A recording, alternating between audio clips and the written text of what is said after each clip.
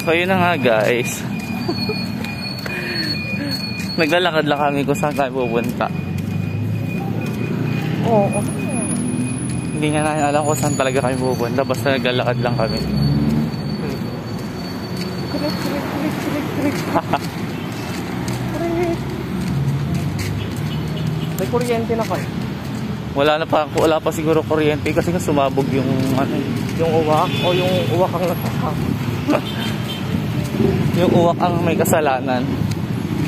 Hindi tao, hindi kuryente, ngunit animal. Grabe yung pagsabog mo. Nakita ko nga kasi yung kumbaga yung lights ng fire, bilog talaga.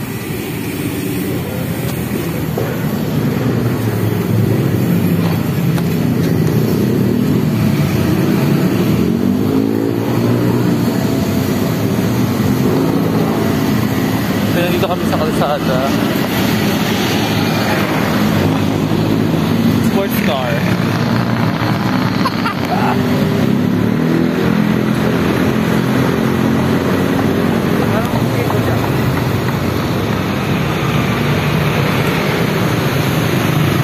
Siya po ay si Roderick Paulate, ang kanyang kambal. Ang ingay naman dito. Ay my God. So we heard na In 1, 2, 2,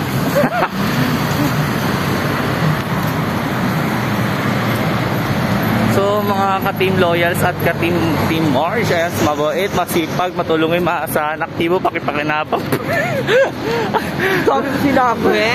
Makati City yan. So meron ako natatanaw na spotted ko siya na kulay red. Kaso hindi makita. Wala. Fresh.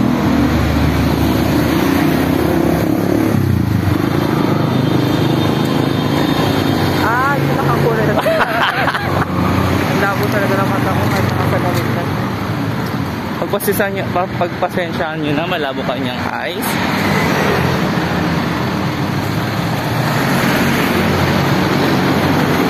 Nakain ba? Oo. Ang title nito ay Ganyan naman yung kotse ko. Yung sa'yo yung isa ka. Lakad for Today's Video. Walk to. Hello guys, dito kami ngayon kasi walang magawa sa bahay. Pumunta kami lang siya. Nagtanong kami kung magkano na yung mga ano ngayon. Yung taas ng presyo ng kuryente, ay ng, ng tubig, ay ng tubig, ng kuryente. ay, kuryente. Ng gasolina pala. Ang gasolina. Ang dami sinabi. pala ay inauguration day ng ating Pangulo. Ano? Gusto ko minsan, nakawig ako dyan. Gusto ko report ako. Bibigyan ako. Marami siguro malulok ng mga tao. Oo, totoo yan. At kung mapapansin ninyo, medyo malakas at mataas na ang bilihin ng mga gasolina. This is Carla Karen Gamna reporting live on CNN Philippines. Back to you guys. Oo, di ba? Lagi. Guys, kaya huwag kayong magtataka, mag-like, comment, subscribe kayo. Pepektusan ko kayo. Pag hindi kayo nag-like at saka subscribe, eh di wag. Ayan. Huwag niyo magkakalimut ng mag-subscribe. Tignan nyo, nanggigigilok sa inyo. We're here na pala.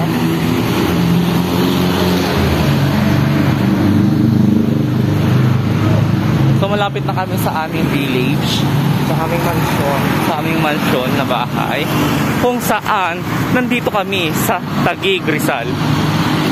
Ilisan. Pinagsama na po ang Taguig at Rizal. Oo.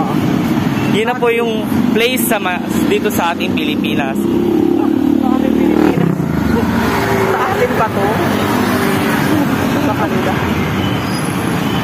Hindi mo narinig sa ating Pilipinas. Is that my ear? Is that my real now?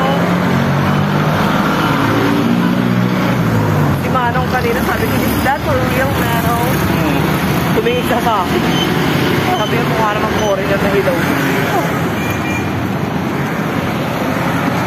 masabi mo? Sinelas ko. Ano sabi mo? Is that for real, Nano? Totoo ba yung uwa? Is that uwa? Is that o all, all ba yun? Ah, ah. Uwak bang all? Hawk. Ha? Hawk. Hawk? Anong English ng uwak? Hawk. Tanungin nga natin sila. Mag-comment lang po kayo kung anong English ng uwak. Ano English din ng uwak? Ay, sila yun, no? Ano sila? Oo. Siguro nakita ng mga bakla naglalakad pa. Saan kaya sila papunta? What do you think? What do you think? Okay, hello guys. Please uh, subscribe sa aming YouTube channel para updated Wow!